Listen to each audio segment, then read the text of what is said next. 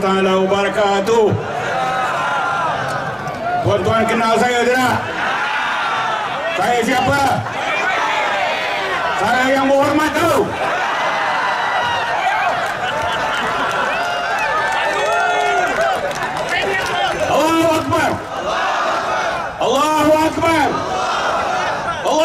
Akbar. Tadi saya duduk di bawah. Ingat tak dijemput berucap. Pengarah koordinator perhimpunan daripada AMNO duduk di bawah saja. Ha, begitulah nasib. Tak apalah, terima kasih Umar. Bagi juga peluang.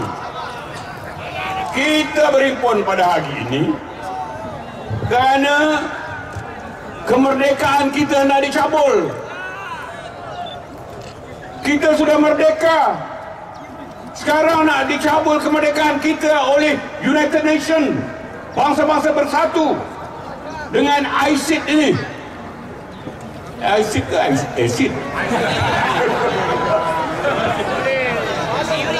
Mereka hendak kita menerima convention ini dengan itu mereka akan mengenakan syarat-syarat bagaimana kita nak hidup dalam negara kita sendiri. Mereka nak menguasai sosial budaya kita. Mereka nak menguasai minda kita. Mereka nak menguasai politik kita. Mereka nak menguasai hala tuju perjuangan kita orang Islam dan orang Melayu dalam negara kita ini. Go to hell with Nations. Ayo. Apa dia tahu perkara di Malaysia ni? Mana dia tahu masalah bumi putra? Masa dia tahu masalah pribumi anak negeri Sabah orang Islam yang kita ni baik hati kita pergi segala-galanya. Walaupun dulu ya mereka datang sebagai buruh kasar dalam negara kita ini. 200 tahun British bawa mereka sebagai buruh. Pakai kain pun mana seluar pendek. Baju-baju apa? Baju perak. Ha kita beri segala-galanya. Hari ini Media Murti kata Melayu bukan pribumi. Boleh terima? Boleh terima? Boleh terima? Tak boleh. Sebab itu Tuan Mahathir Tok. Kita minta. Kepada Tok kita ni. Pecat Media Murti. Setuju? Ada ramai-ramai. Pecat Media Murti setuju Tuan Mahathir jangan takut. Walaupun hari ini UMNO ada 200 ribu ke berapa ratus ribu. PAS ada 300 ribu. 500 ribu. Kita tidak akan menggulingkan kerajaan secara tidak demokratik. Betul tak? Tetapi kalau kerajaan tidak menunaikan tanggungjawabnya kepada bumi putra, orang Melayu, agama Islam jangan salahkan kita. UMNO PAS dan NGO kita akan bangkit dalam masa pilihan raya yang akan datang. Setuju? setuju?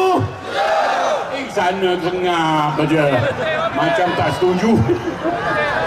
Semua setuju? Ini bajet diperkenalkan. Bajet 2019 kita dipinggirkan. Nampak sangat orang Melayu dipinggirkan. Ha-ha kita saya nak ringkaskan di sini. Saya nak beri amaran.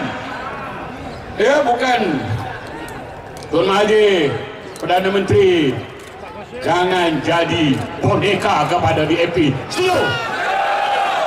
DAP akan memperalatkan Dr. Mahathir. Kita hormat Tuan sebagai negarawan.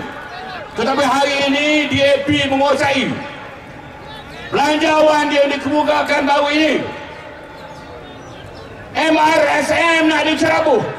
Nak diceroboh. UITM nak diceroboh. Betul ke tidak petani kita tak diberi pembelaan. Kita nak bagi tahu kepada kerajaan Pakatan Harapan.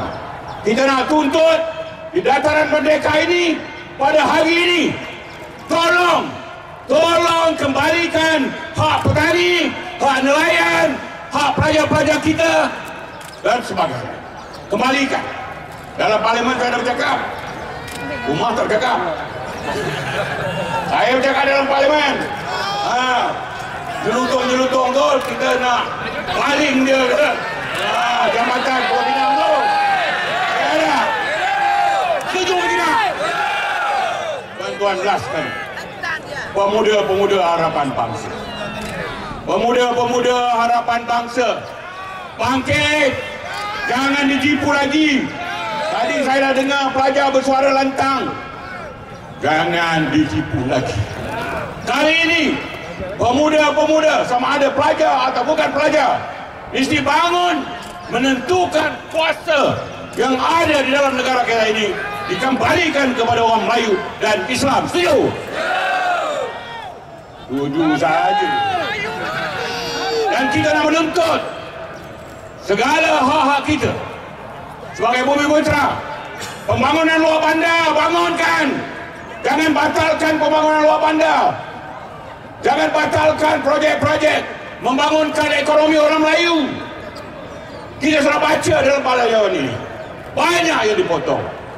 Kita tidak boleh terima dan kita tak boleh sabar di sini. Ini perhimpunan bukan kali terakhir kalau sekiranya kerajaan tidak tunduk kepada tuntutan rakyat tidak tunduk kepada kita meminggirkan orang Melayu dan Islam kita akan adakan perhimpunan yang lebih besar daripada ini di tataran mereka ini boleh?